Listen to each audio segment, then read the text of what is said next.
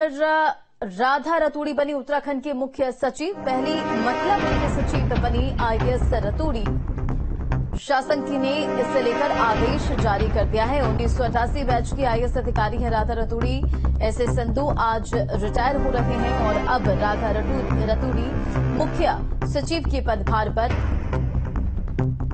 उन्हें पोस्ट किया गया है। ऐसे संधु आज रिटायर हो रहे हैं और रिटायर होते ही आज चार्ज लेंगे राधा रतूड़ी। तो बड़ी खबर आपको बता रहे हैं। और महिला सशक्तिकरण विभाग की ज़िम्मेदारी उन्होंने संभाली है। आईएएस राधा रतूड़ी कौन है, उनके बारे में भी जानिए। उन्नीस सौ अठासी बैच की आईएएस अधिकारी है राधा रतूड़ी। और शासन ने इसे लेकर आदेश भी जारी कर दिया तो उत्तराखंड की ये बड़ी खबर आपको बता रहे जहाँ राधा रतूड़ी बनी। उत्तराखंड की मुख्य सचिव, पहली मुख्य सचिव बनी है राधा रतूड़ी। और शासन ने इसे लेकर आदेश भी जारी किया तो बड़ी ज़िम्मेदारी राधा रतूड़ी को अब तक के कार्यकाल में कई अहम पदों की ज़िम्मेदारी उन्होंने संभाली है। पत्रकारिता छोड़कर देश सेवा का फैसला उन्होंने लिया। संवाददाता अजीत राठी खबर पर अधिक अपडेट के साथ जुड़ गए अजीत, आज से चार्ज लेंगी राधा रतूड़ी और एस एस सद्दू आज रिटायर हो रहे हैं। देखिए, उनका आदेश शासन ने जारी कर दिया है। वो पहली महिला मुख्य सचिव होने जा रही है। उन्नीस सौ अठासी बैच की आईएएस ऑफिसर है। और वो शाम को पाँच बजे वो अपना चार्ज लेंगी। और डॉक्टर सुखबीर सिंह संधू जो तकरीबन ढाई साल यहाँ पर मुख्य सचिव के तौर पर उन्होंने बेहतर काम किया है तो उनका आज कार्यकाल समाप्त हो जाएगा। सेवानिवृत्ति का दिन है आज तो शाम को पाँच बजे वो अपना चार्ज ले लेंगी। जी। अब बिल्कुल देखिए कई मुख्य ज़िम्मेदारी जो है इन्होंने निभाया है और एक कहीं ना कहीं एक बड़ी ज़िम्मेदारी अहम पदों की ज़िम्मेदारी अब इन्हें मिलने जा रही है।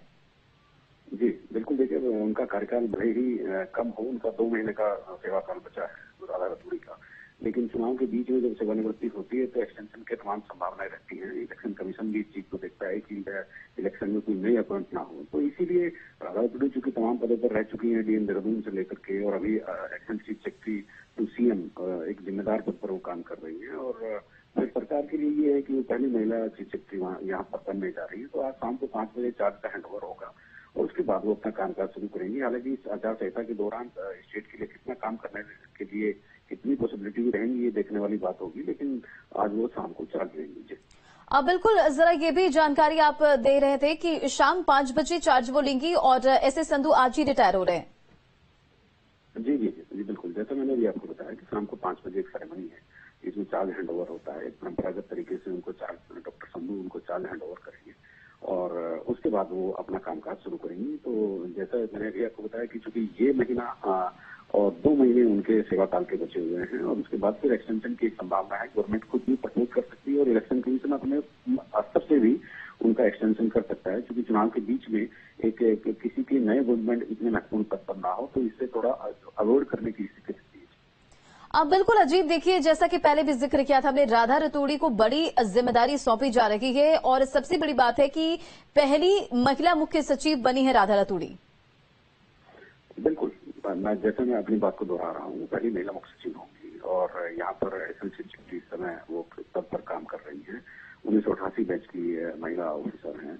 उसके पहले भी वो मतलब महत्वपूर्ण पदों पर, त्रिवेंद्र सिंह रावत और तीरथ सिंह रावत की सरकार में रही है। अभी भी वो महत्वपूर्ण पदों पर काम कर और आज वो चीफ सेक्रेटरी का चार्ज लेंगी तो वो काम से अपना चीफ सेक्रेटरी बतौर चीफ सेक्रेटरी यहाँ पर काम करना शुरू कर देंगे।